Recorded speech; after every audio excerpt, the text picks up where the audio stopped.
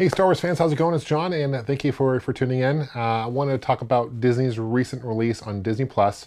It's what they, they're labeling it as Star Wars Vintage line of videos and movies. Uh, and I want to kind of go over each one. Uh, they released this on April 2nd, at least here in North America. I'm sure they're going to release it around other parts of the world, if not already, uh, very soon.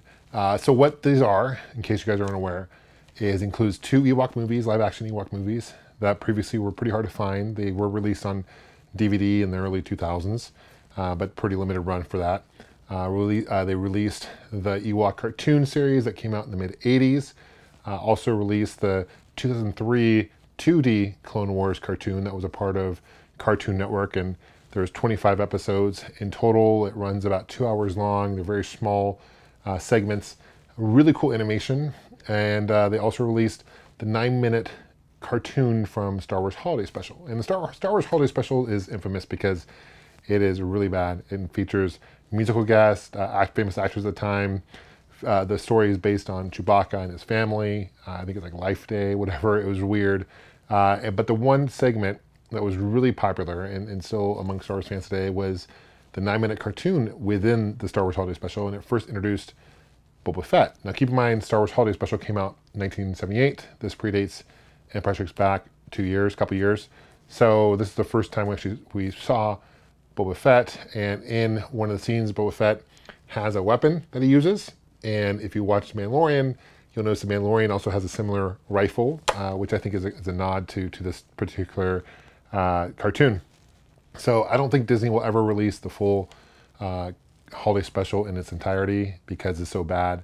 You can get bootlegs. I have a DVD bootleg of it, of course. I have a VHS bootleg of it too, but um, I'm, I'm, sure they're out there. You can find bootlegs of it. And but as far as an official release, it's going to be very hard. To, I think this is probably the best we're going to get from Disney. They also released uh, two Ewok movies I mentioned before. First one is Caravan of Courage. It came out in 1984. Uh, second one came out a year later, 85. Uh, it's called The Battle of Endor. These in North America were on ABC and for TV. In other parts of the world, including Europe, they actually were released in theater, which I'm totally jealous of. Uh, they were released eventually on VHS, even uh, Laserdisc. Remember those big Laserdiscs? And in early 2000s, they had a DVD release, but uh, very limited run on that as well.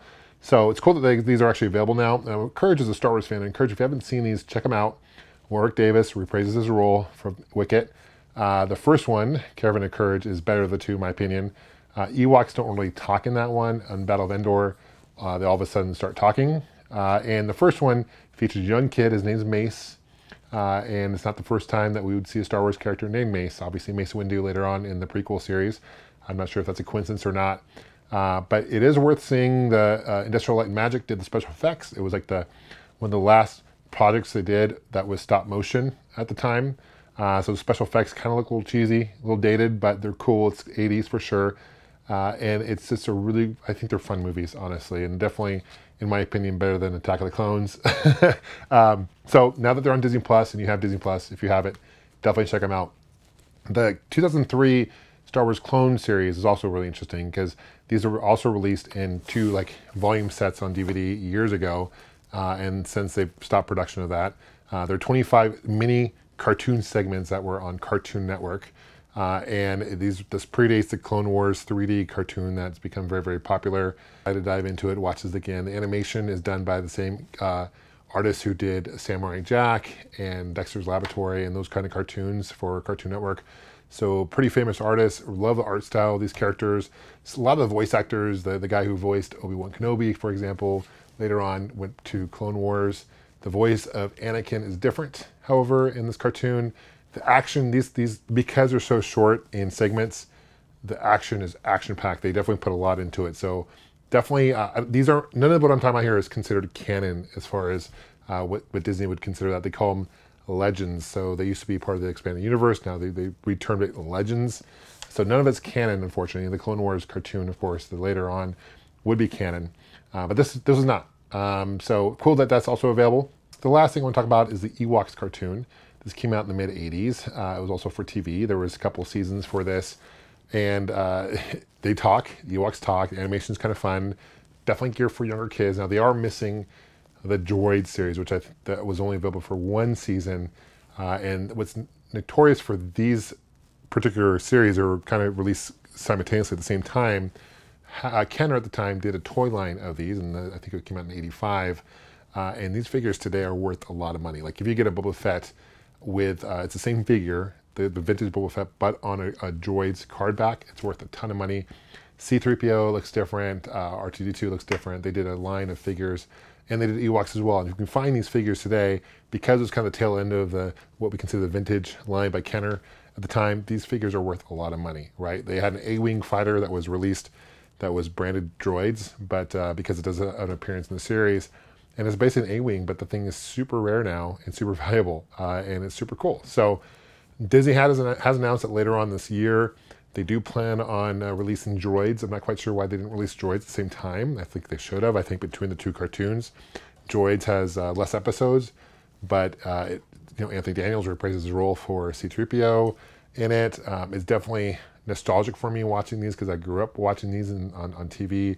I think they were on NBC. I'm, I'm not quite 100% sure on that, but I do remember watching them uh, on TV back in the mid 80s.